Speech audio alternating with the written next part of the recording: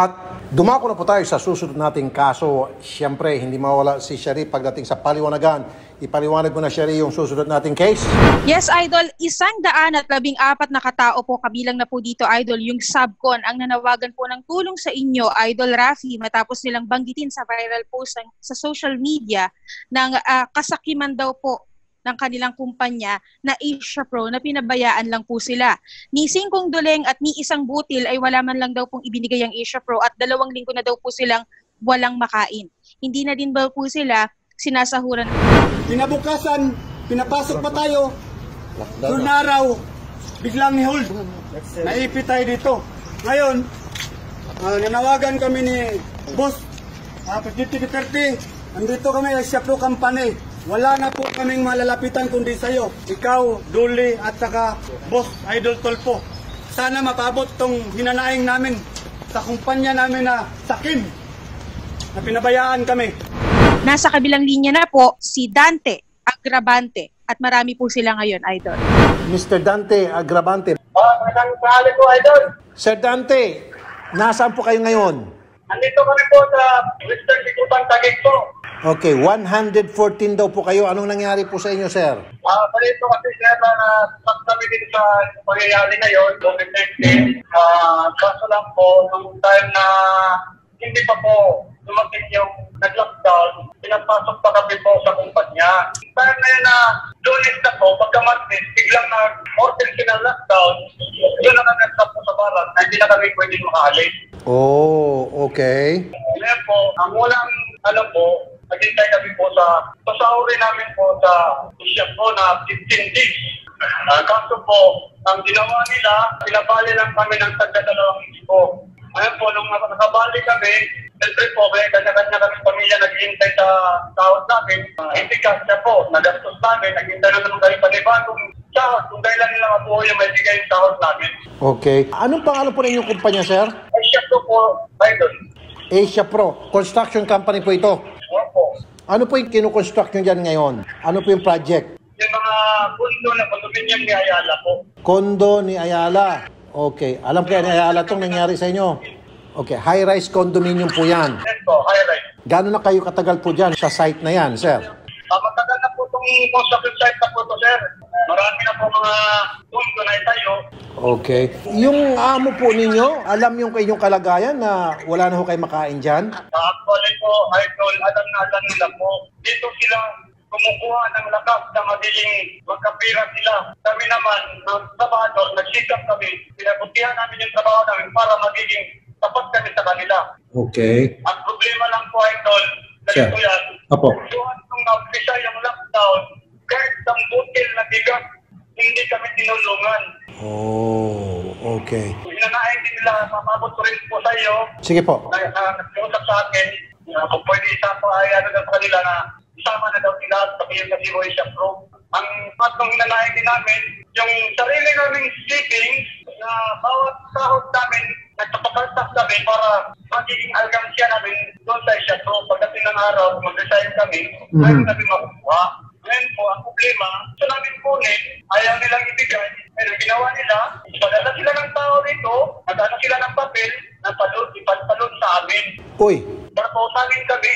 eh pera nyo yun. Bakit papautang sa inyo? Dapat ibalik lang kasi pera nyo yun eh. Nga po, idol eh. Magkano po yung kinakaltas bawat... Para matubuhan nila. Oh, gustong tumubo. Magkano po yung kinakaltas sa sweldo ninyo kada payday? Sa akin, isang libo bawat kinsinan. So, dalawang libo kada buwan. Gaano katagal na kayo dyan, sir? Isang taon pa lang ako mahigit dito po. Okay. So, meron na po kayo naipon na 12,000 kung tutuusin. Ngayon, gusto niyo pong mag-withdraw nyo doon sa sinasabi nyong savings, eh, ayaw, ang gusto, utangin nyo. Yun nga po, bali, actually po, idol, ipapaliwanag ko rin po sa iyo. Yung una kong tira na savings ko po, ah, nung nag-resign ako, dahil nagkaroon ng problema yung pamilya ko sa Samar, nagkasakit ko, inuha ko yung savings ko, may pag-ibago kong savings ko ngayon. Hindi niyo po nakuha yung dati yung savings, sir? Kuha ko na idol kasi nag-resign ako.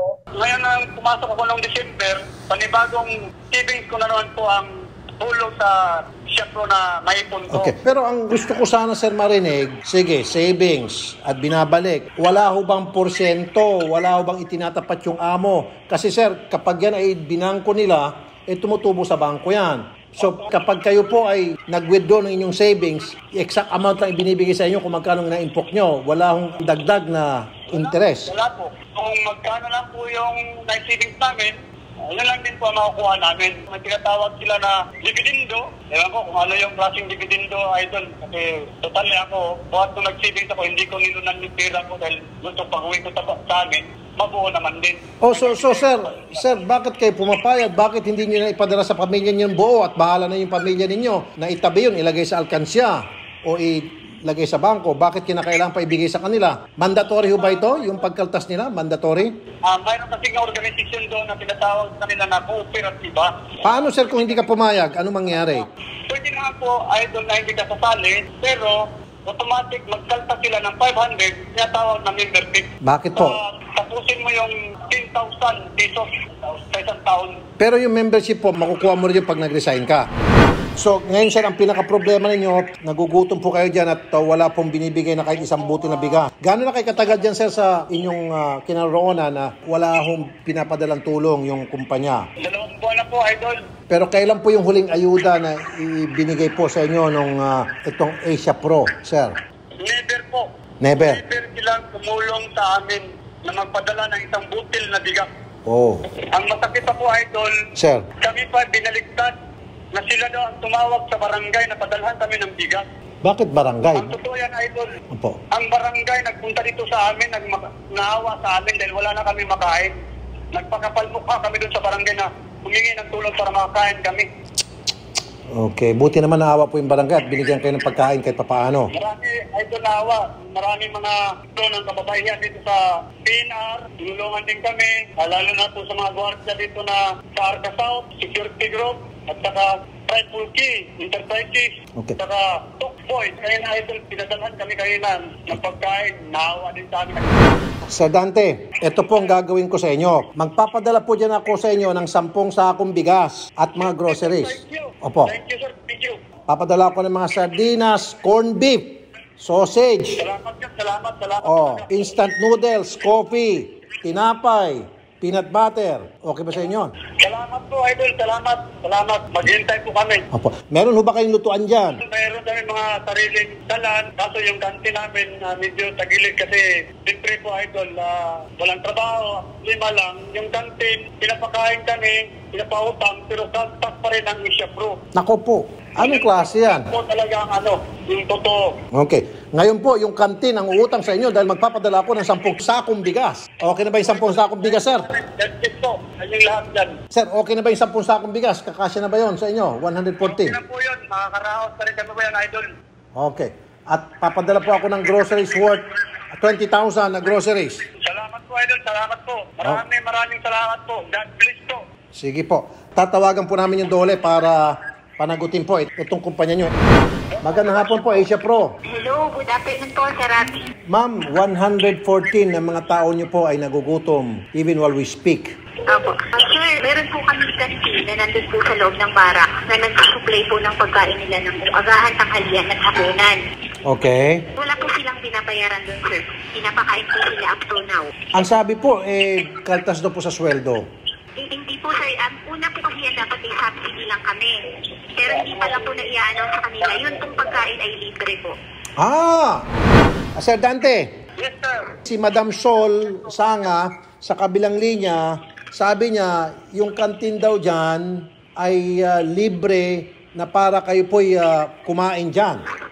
Idol, nandito yung mga kasamahan ko. Hindi totoo yan. Pirma pa kami dito, may pirma. 50 araw-araw. Walang katotohanan yan, Idol. Actually po kasi ang nakastate sa kanila nung biglaan po na nag-lockdown is may subsidize lang po ang aming Oo, kumpanya yung agahan. Opo. Pero yun po, hindi pa lang po na i-announce ng aming barracks administrator na libre po, libre na po sa kanila po yung pagkain. So from now on po, kailan po yung libre? Magmula po nung nag-lockdown lang. Hanggang ngayon po, tuloy-tuloy. Opo, hanggang ngayon po, opo. Libre po yan. Three times a day sila kakain. Wala hong, hindi po utang.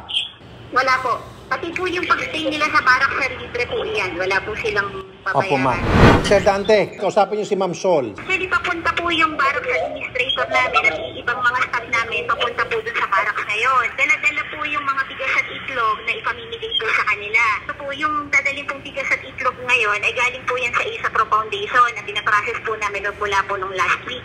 Nag-gather po kahapon, i-deliver po ngayon yung relief goods, hindi nila alam. Sir Dante, sabi po ni Ma'am Sol, bukod sa libre na raw po yung pagkain sa kantin, magdadala pa raw daw dyan, may mga staff mula sa foundation, Asia Pro Foundation, magdadala mga bigas at mga itlog at kung ano-ano pa. Tama ba ang pagkarinig ko, Ma'am Sol? Ano po, bigas po itlog, alam ko po may kasunod pang gulay. Ilang pong bigas, ilang kilo? Hindi ko lang po masasagot ngayon, sir, ba- basta po may bigas po ibibigay sa kanila.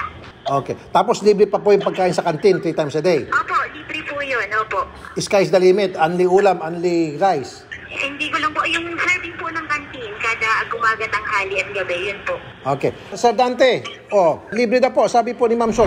Ma'am Sol, ano bang katungkulan niyo po dyan sa Asia Pro, Madam? Ah, cluster head po ako, ah, hawak ko po yung area ng ARCA, sir. Ah, eh, mataas ang pwesto ni Madam. Sir, ito pong boss niyo, si Ma'am Sol, mataas ang pwesto. Siya na po mismo nagagaranti na libre daw po. Ano man sasabi niyo, Sir Dante? Idol, ngayon lang, katagal na panahon, naghihintay kami sa tulong nila.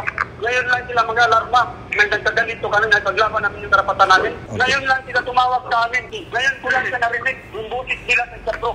Sir, kasi po, ano po, yung pong barracks administrator namin, si Mr. Ernesto Sulueta, siya po yung halos, I don't know kung twice or thrice a week nandun po sa barracks. Dahil siya po ang nagmamanage niyan at kumakausap sa mga tao. Alam ko, nanonote naman niya po yung mga concern ng mga tao. Naintindihan po namin, emotional po lahat. Kahit naman po ako, no, work no po ako ngayon, nagigipit na rin po ako. Pero yun nga po, sa abot ng aming makakaya, kung ano po yung kaya naming maitulong, itutulong naman po. Apektado naman po lahat ng industry at kumpanya po ngayon. Opo. Pero Ma'am Sol, ito lang po ang aking pananaw. Yain na po, no work, no pay kayo. Pero ito pong mga worker natin, they go by day by day. Okay. At kung ah, wala ho silang sweldo, wala ho sila talaga makain. Ito ngayon, ma'am, ito matindi. Eh, alam naman natin, kung hindi dahil sa kanilang mga pawis, blood, sweat, and tears, ika nga, wala akong maitatayong kondo ang Asia Pro, di ba? So ma'am, asahan ko po ma'am yung pangako ninyo. Anyway, ako po'y tutulong pa rin. Ako po'y magpapadala din on my own. Magpapadala din ako ng mga bigas at groceries on my own. Opo, salamat po, Sir Rafi. Opo. Huwag So, po kayong mag-alala, sir, kung ano po yung mga nar- mandatory sweldo, 30th month pay na i-advance naman na po namin sa kanila. May financial assistance na rin pong galing sa MDC sa kliyente namin na ibigay na rin po namin sa kanila, sir. Mm, okay. Sir Dante, in fairness po sa Asia Pro, maganda pong paliwanag ni ah, Ma'am Sol. Mukhang okay naman. Tapos mamaya daw po, may pupunta daw dyan, administrator, para magdala ng mga bigas at itlog. At ah, siguro magpapaliwanag din sa inyo. At yung kantin daw pala, three times a day, libre. O paano na yan? Okay na. Idol, yung kantin, walang libre po. Nakapirma yung mga tao. Yung barak namin po, yung bago mag-lockdown, tinagpasan kami. Madam, kayo po magsabi, kasi ma'am, tinitake note ko po ito sinasabi niyo po, madam, ano, kayo na po magpaliwanag, ma'am Sol, kay Sir Dante, kasi ay maniwala, na yung pong pagkain sa kantin ay libre na. Paliwanag niyo po, ma'am. Sir Dante, hindi naman po siguro po ako haharap at magbibitaw ng salita sa harap ni Idol Rafi na libre po yan kung hindi po namin paninindigan. Okay. Um, sa akin lang po, ang request ko lang po, kung meron po tayong mga katanungan or mga ganyang grievances na gusto nating malinawan, pwede naman po tayo mag-usap ng maayos.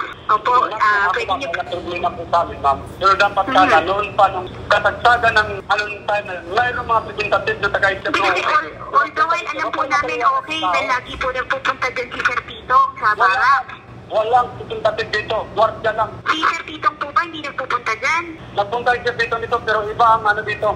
Wala siya maano sa amin dahil alam niya yung sitwasyon namin dito. Hindi, ganito na lang po sir, moving ho tayong problema. Pagka Sige po. ganyang may mga issue po tayo na gusto pong linawin, pwede po naman natin kontakin yung mga member supervisor o kahit ako para magkausap po tayo at magkakaliwanagan po tayo. Very good, very good. So, Ma'am Sol, mamaya kami po magpa-follow up din para masiguro yung pong pinag-usapan natin dito, yung pangako niyo po, eh matutupad, Ma'am, Ma'am Sol. Ah, sige po sir po. O, opo sir Rafi. Sige. Thank you po, Ma'am Sol. ah. Salamat sir Rafi. Thank you po, po.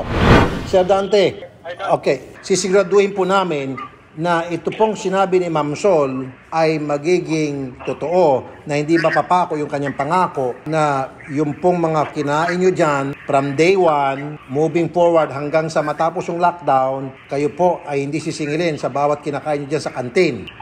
Kami na po ang mismong magsisiguro niyan. Ang gagawin po namin, eh, kami po from time to time, tatawag po sa Asia Pro at kami po testigo at ito pong pinag-uusapan natin, recorded po ito, para kung sakali man eh, hindi nila tinupad yung kanilang usapan, magagamit natin to against them pagdating po doon sa labor, sa dole. Okay, sir?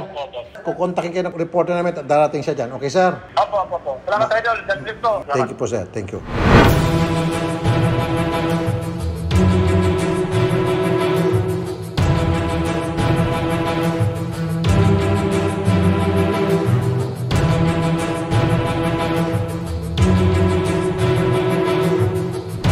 Hello, good evening, Sir Dante. Hello po, ma'am. Good evening ulit po, ma'am. Oo, good evening, Sir Dante. This is Mau, a reporter ni Sir Rafi Tulfo. Sir Dante, kanina, kausap ko yung si Ma'am Sol. So, ayon sa kanya, nagpadala na daw po ng 12 sacks of rice dyan at 10 tray na itlog. Ngayon, na-confirm ko din po sa kanya, kanina kausap ko siya, yung concern nyo na yung pagkain nyo na binabayaran nyo na 50 pesos, di ba?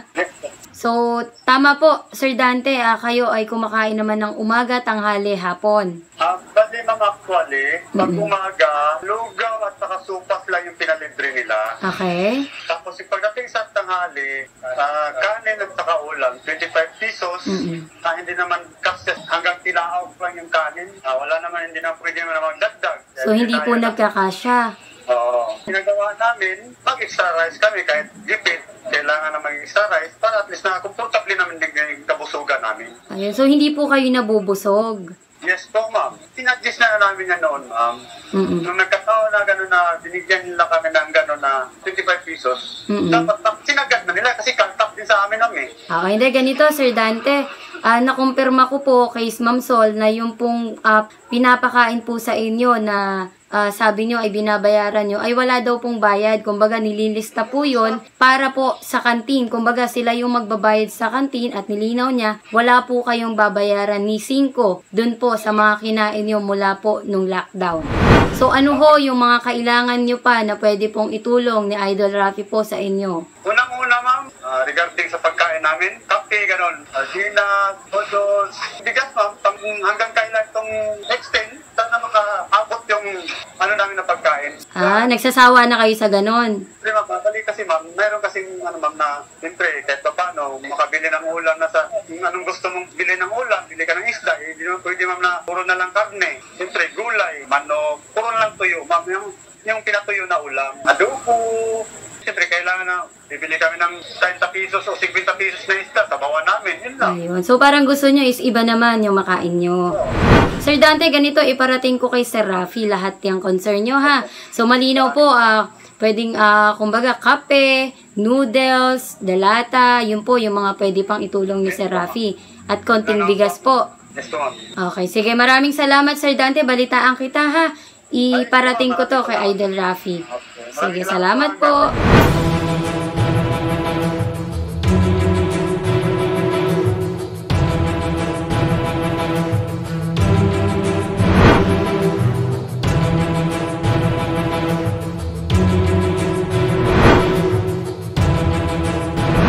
Nandito tayo ngayon sa isang barracks dito sa Tagig kung saan naabutan ng lockdown ang 114 na mga construction worker kung nakikita nyo dito sa ating likuran. Ngayon ay personal natin kukumustahin, aalamin kung ano ang tunay na sitwasyon nila dito.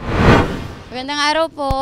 So Sir Bali, matapos kasi yung makausap si Sir Rafi at tinawagan ko yung kumpanya. So ayon sa company, ay totoo ba na nagpadala daw ng ah, 12 sacks of rice at itlog? Ano ho yung sitwasyon nyo ngayon dito? Sa ngayon, ma'am, nagpapasalamat din kay kami sa Asia Pro kahit papano sa tagal na panahon na hinintay namin, natutulong sila sa amin. Kung hindi pa kami nagpadala ng mga video, hindi kami mapadalhan. Kailangan pa bang palakihin? Ang kinailangan lang namin, tulong ng kumpanya na maliit na bagay. Ayaw namin na magkaroon kami ng problema sa kumpanya namin dahil alam namin dyan kami kumukuha ng lakas para sa aming pamilya. So Sir Dante, ngayon malinaw na nagpadala sa inyo ng bigas tapos itlog and then nilinaw nung company yung kinakain nyo dun sa kantin ay wala po kayong babayaran. Okay po sa inyo yun? Ma'am, ah, Iano ko rin muna yung sinabi nila na umpisa hanggang sa dulo na sinabi nila sa akin na walang bayad. Noon ma'am, nung umpisa, wala silang sinabi na libre kami. Kundi palista yung mga tao, 25 sa tanghali ng kaon, hapunan 25, PA deduction yon. Ayun. Yun, okay. So yun yung pagkakaalam nyo, ho, ano? So ngayon po, malinaw po dito, nakausap namin yung company, nangako po na lahat, since day one po na nag-start kayo dito, simula yung lockdown, wala po kayong babayaran kahit piso. So ngayon, yung pong sa canteen na sinasabi na 25 pesos per meal, ay libre po yon. So nililista lang nila yon para kumbaga ma-liquidate nila at mabayaran nila yung canteen. So okay po sa inyo, wala po kayong babayaran kahit piso. Salamat po ma'am, okay kami, okay kami dyan. Tapos matanong ko lang kasi sir, yung naging usapan natin, ang problema nyo dito sa canteen na parang nakokontian kayo, hindi nasasapat yung sineserve na pagkain sa inyo na pang lunch at dinner at sabi mo nga ah, parang laging adobo yung pinapakain. Totoo ba yun? Gulay. Hindi maiwasan kasi kung gusto ng mga tao na magluto ng masarap, wala naman din pira ikabili. Pero okay naman ng adobo sir. Opo ma'am, okay. Ikaw, Tay, hindi ba okay sa adobo?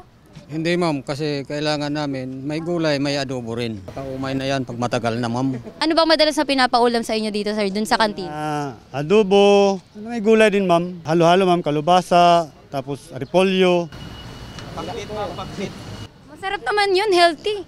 Yun nga ma'am, hindi rin sapat yung 25 pesos na binibigay ng pagkain kasi binabasihan yung 25 pesos sa kinain namin. Kasi noon ma'am, nag-request din kami, kaltas man lang, dapat isolve na yung tao kasi kung saan pa, kahit sa ganitong sitwasyon, kailangan ng tao na mabusog din, hindi yung alanganin. Pero sir, yun nga, dito naman malinaw po na yung 25 pesos or yung 50 pesos na sinasabi niyo ay wala po kayong babayaran. So lahat po yun ay libre. So ngayon naman, ah, nangako yung company na talagang hanggang matapos itong lockdown ay patuloy silang tutulong sa kantin.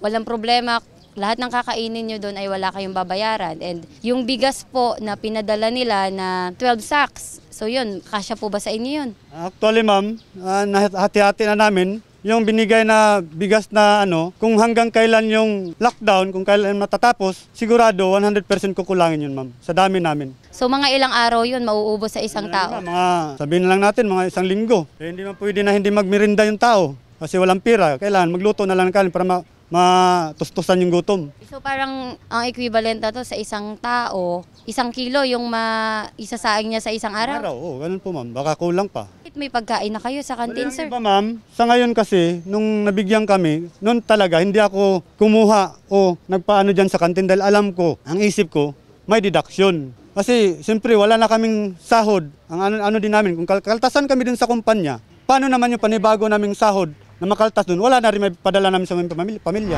Ito sir, ah, si Sir Rafi, nagkaroon kami ng assessment at tinanong niya rin ako. ah, so di ba po nangako na magbibigay sa inyo ng tulong. Kaya lang sa ngayon po, sa nakikita po namin kasi may pagkain naman kayo sa kantin. So yung company, nangako naman na talagang tutustusan yung kakainin nyo and yun pa, may ibang tulong pa sila. Sa ngayon po ay hindi mo na magbibigay ng, kumbaga, ng konting tulong sa Idol Rafi. Pero once po nakulangin kayo, kulangin yung binigay sa inyo na 12 sakong bigas, tawagan niyo po ako anytime maghahatid po ng tulong dito si Idol Rafi. So dito sir, anong sitwasyon niyo dito? Saan po kayo natutulog? Ah, sa loob po ma'am. Mga Pwede nating makita? yun.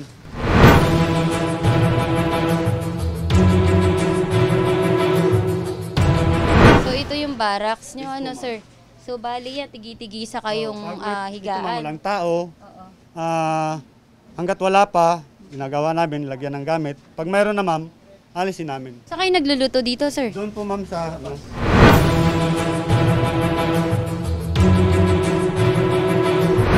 Idol Rafi, kung makikita mo dito may mga kanya-kanya silang lutuan. Ito yung mga sarili nilang kalan. So diyan pwede silang magluto ng kanin nila kung kulangin sila. And ito naman yung lutuan nung canteen. So dito nagluluto yung may-ari.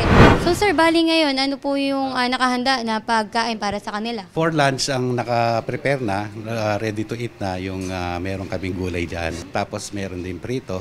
At uh, yung kanina na breakfast nila, may natirang mga ham dyan at saka ano. So yung, yung iba gusto yung mga dry, kaya nandyan, nandyan pa rin. Tapos uh, kung meron pang time, nagpe-prepare ako ng uh, apritada. Ito, hinihiwa ko na. So kung ayaw nilang gulay, pwede silang kumain ng manok. Sawa na raw sir sa adobo. So apretada naman. In one week time, di pa ako nagluto ng adobo. Saan Oo. mo kaya nakuha yung adobo? Ay siguro mga previous na ano kasi Yung mga dati. Uh, mga dati na sinasabing adobo. So apritada ang piniprepare ko ngayon. ito yung pinadala ngayon ng Asia Pro sa amin. Ah, so galing din to sa company. Sobrang dami naman pala. Ah, ito yung ano, pasalamat din kami kahit huli. At least na mayroon kaming makakain din sa tulong din ah, sa Asia Pro. Ito malaking bagay ito, sir, ano, kasi yan, lalo na yan, gulay, itlog, kumbaga ma- masasapatan na yung pang-araw-araw na kailangan nyo. At least sir, ngayon naman nakikita ko na talagang okay naman yung sitwasyon nyo ngayon, no? Talagang yung company ay tumulong naman maliban dun sa bigas, ito pangkain nyo, gulay, pang-araw-araw. Nabanggit ko kanina, kung may kailangan pa kayo, ipaparating ko kay Sir Rafi. Kasi ngayon po, maintindihan nyo, syempre may mga tao po na kailangan pa rin naming tulungan. Kumbaga, yung mga walang-wala po sa buhay.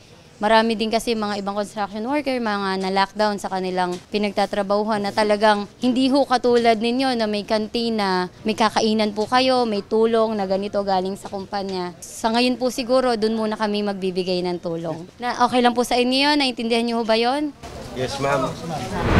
So, sir, bali, nandito kami ngayon para magtanong regarding nga dito sa nangyari sa mga empleyado nyo, yung mga concerns nila. Ah, nakausap ko si Ma'am Sol, nilinaw niya sa akin na yung sa kantin po ay wala silang babayaran. Tama ho ba? Opo, confirm po namin sa management yan. So nung una hindi kasi siya ma-announce dahil nagkagulatan nga, nagulo. So niretain lang muna natin yon kasi wala pa pong desisyon dahil nagbigla yung lockdown eh. So hindi natin alam kung ano pa yung, kahit yung ayuda wala pa po nga siya eh. Pero nung huli na nangyayari na nga, na ganito pala yung mangyayari sa lockdown, so diyan pa lang siya pumapasok, ano ba yung pwede natin gawin? So isa na yung naging option nga is yung ilibre na yung ano, sa kantin. So ito lately lang yung mga na-discuss eh, hindi po So, agad-agad. ibig sabihin, sir, nung una, totoo yung mga sinasabi ng mga tao na parang ang thinking nila ay babayaran nila. Tama po yan. Kasi yung sitwasyon, nandun pa rin muna siya eh. Kasi hindi nga natin alam eh. Kaya pinaliwanag ko sa kanila, even ang ating ah, kooperatiba ay nahihirapan dahil survival mode din. Isa po sa nape- apektuhan, hindi lang Asia Pro, kundi lahat po ng kumpanya kahit saan tayo umikot. So kawawa din naman po talaga kung titingnan natin. Pero mukhang nakakalimutan natin, pati yung employer, nalalagay din natin po siya sa alanganin. Ang concern pa nila, sir, ulit-ulit daw yung pagkain, parang adobo, puro dry, parang gusto nila is, kumbaga magluto sila ng sarili nila. Eh yun ma'am, sa bagay na hindi naman kasi namin hawak yun. Hindi naman siya kantin ni Asia Pro. Kantin po siya ng barak. Mm, So pwede silang mag-request sa kantin kung ano yung mga gusto nila. Opo, open naman palagay ko open ang kantin. So si kantin po ang makakasagot niya kung bakit siya puro adobo o kung ano po yung ano niya eh. Oo, puro dry daw. Yes, ma'am. So yun sir, ang sa amin naman dito kasi yun nga nabanggit ni Sir Rafi sa kanila ay dapat magbibigay kami ng tulong. Kumbaga pagkain. Kaya lang po ah, based on assessment po namin, eh, nakikita namin na kumbaga okay naman din yung sitwasyon nila dito, may pagkain. At yun nga, nagpadala daw po kayo ng bigas at kanina nakita ko may mga gulay din po na pinadala. Oo. So ang gusto lang naman na po namin ni Sir Rafi ay masigurado na talagang hanggang matapos yung lockdown ay wala ho silang babayaran dito sa kantina. Sa ngayon po yan po talaga ang direktiba po ng ating management. Tsaka hindi kami nag-react dahil sa nagpakita lang po sila sa YouTube, ma'am. Lahat po yan ay nakaplano na. Nagkataon lang na medyo may delay lang kami dahil inisip muna ng management anong uunahin. Kaya sila, sinatinanong ko nga sila eh, kung may pera ka, anong uunahin mo? Sahod, 13-month pay o bigas? So ang ginawa po ni management, ma'am, ibinigay na po muna yung dapat nilang sahurin. Budget constraint na rin kami, ma'am eh. Matanong ko lang sir, ah, may mga sasweldohin pa po ba sila sa company? Kung may trabaho naman sila mababayaran pa pero lahat po yun ay na-settle na po natin. Tulad nung uli, yung holiday po, naibigay na po natin yon. Ano po ba yung mga tanggap nila sa kumpanya? Kasi minado sila, kailangan nila ng financial. May ginagawa po ba yung company para ma-receive din nila yung mga galing sa gobyerno? Yes, ma'am. Doon po sa role ni employer, pagdating po sa Dole Camp, ang hinihingi lang naman po na papel ni Dole para galing sa employer ay ibigay yung mga pangalan, ibigay yung account number, ibigay yung mobile number. Then ipapasa po sa Dole NCR. Under po kami ng Dole NCR eh.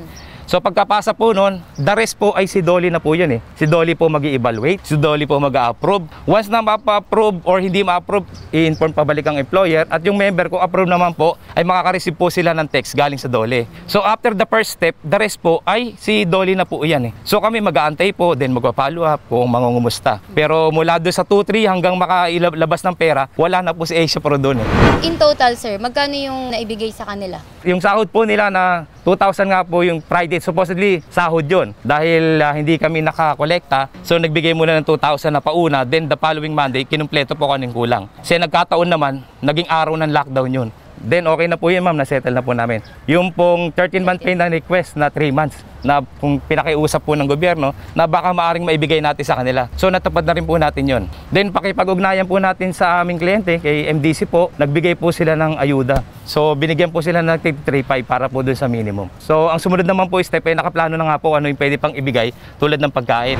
So magkano yung total? Kung ilan po yung pinasok nila, let's say ma'am, kung minimum pa, di yung minimum ng ano ng kalahati ng So kahit pa 14,000. paano naman pala sir, ay meron silang naitatabing pera. Oo, naintindihan naman natin hindi sapat yan hindi kapos. So syempre depende sa paghahanda natin gaano ba tayo kahanda sa ganong sitwasyon ma'am, di ba? Ano ba yung plano ng company sa kanila after this lockdown? Una, nakadepende tayo sa i-announce ng gobyerno. Kung anong hiningi ng kliyente sa amin, yun lang po ibibigay namin. Kung inopen niya po ang construction, nag-okay po siya, then sinabi niya, kailangan ko ng ganito karaming empleyado, ibibigay po namin yan. So kung sino yung gustong bumalik, lahat po ay welcome. At ang management na pinapabot, kung ano man yung gusto nila ipahayag, ay bukas po ang management. Malaya po sila. Last question na lang, ah, syempre may cash ban itong mga tao, ano? Ah, if ever, ah, possible ba na makuha nila yon? Yes ma'am, may proseso lang po tayo sa pagkukuha ng cash band ma'am. So ang cash band po kasi ay ibinibigay kung ikaw po ay aalis na bilang miyembro ng Asia Pro. So kung ano man po yan, iyo ay iyo po yan. Ang sa amin lang gusto na ni Sir Rafi makasigurado na hindi po sila mapapabayaan dito. Opo ma'am, kaya sinabi ko naman sa inyo, wala po talagang kumpanya na gustong pabayaan ng kanyang empleyado.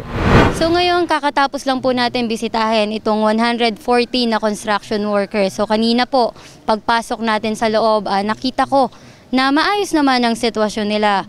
May pagkain sila doon sa sinasabi nila na kantin. At dito nalinawan po na wala silang babayaran ni 5 at ito ay libre. Kinlaro ito ng kumpanya. At maliban dito sa pang-araw-araw na pagkain nila sa kantin, nagbigay din ng 12 sacks of rice itong company at mga gulay na maaari nilang lutuin at dagdag pagkain nila.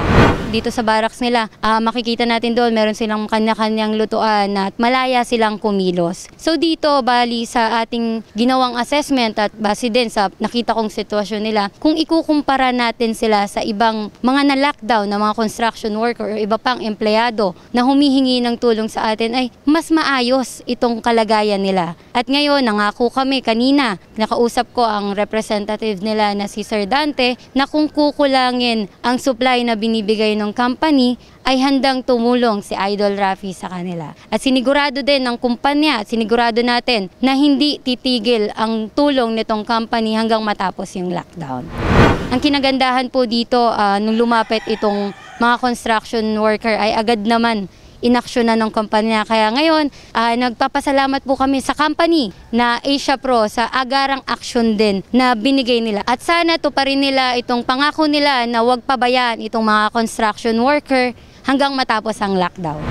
Idol, maraming salamat at napalinawan kami. Ah, yung hinanaing, ah, maraming salamat. At paano makaraos kami sa gutom. Maraming maraming salamat. God bless. Maraming salamat, Idol!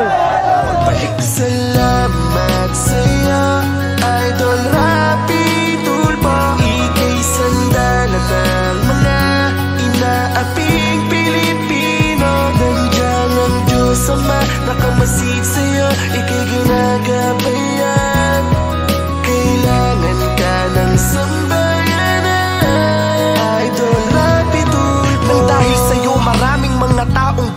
Marami ang natutong pag napulot dapat ibalik. May mga taong binalik mo ang ngiti sa mga labi. Binigyan ng pag-asa na muli nilang mabawi. Mga taong inapi na binigyan ng ustisya. Mga pinag-ayos na mag-asawang nasisira. Mga pinagbating kaibigan na nagkainggitan Masasamang banta ay nagawa mong mapigilan. Ikaw ang naging takbuhan ng mga inaabuso. At dahil dun saludo sa'yo ang ating Pangulo Napakasarap na merong tulad mong aming takbuhan Upang makamit namin ang asam na katarungan Dahil sa iyo di na kami pwedeng apak-apakan Wala nang mga tao na maghahari-harian. Salamat sa pagtulong ng walang kapalit. Nakita yun lahat ni Lord siya na bahalang magbalik